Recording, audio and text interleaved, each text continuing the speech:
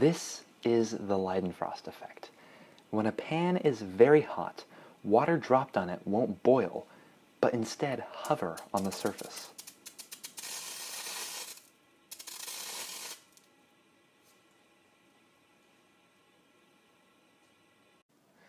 Johann Gottlob Leidenfrost, a German doctor, was the first to document his observations of the Leidenfrost effect back in 1756. He noticed that if a surface was hot and you dropped water on it, the water would instantly boil away.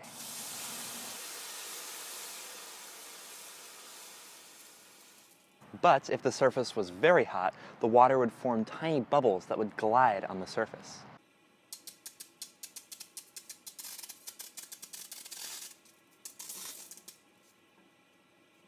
So why is this?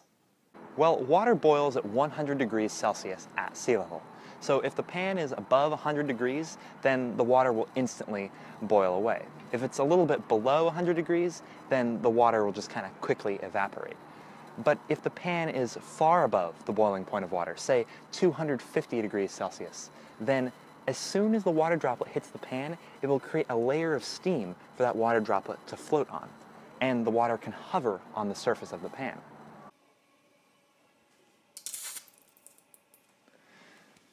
This is a process known as film boiling. A thin film, in this case water vapor, cushions the water from boiling all at once.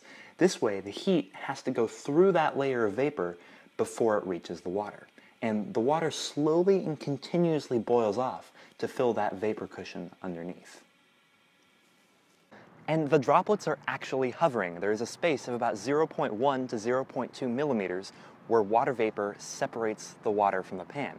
And this means that there is almost no friction between the water and the pan. So if you give the pan a spin, the water will just keep spinning round and around.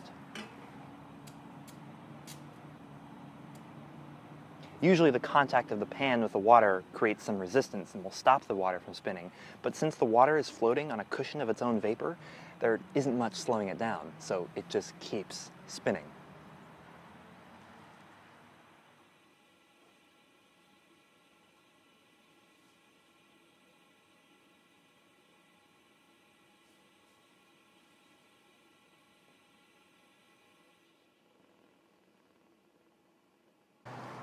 The temperature at which the Leidenfrost effect occurs varies wildly. It really depends on the surface and the amount of water being used. For example, this iron griddle has to be heated to over 300 degrees Celsius before the Leidenfrost effect occurs. And on the other hand, this steel pan, Leidenfrost at just 110 degrees Celsius. And other research has shown that on some surfaces, the Leidenfrost effect doesn't occur until 500 degrees. And on the other hand, some surfaces with hydrophobic coatings, basically water-resistant coatings, the Leidenfrost effect will occur below the boiling point of water, below 100 degrees Celsius. So try this experiment out for yourself. All you need is a pan, a stove, and some water. See what pans work better, and tell your friends and family about the wonders of the Leidenfrost effect. Look at that. That little water droplet there is just hovering on the surface of the pan.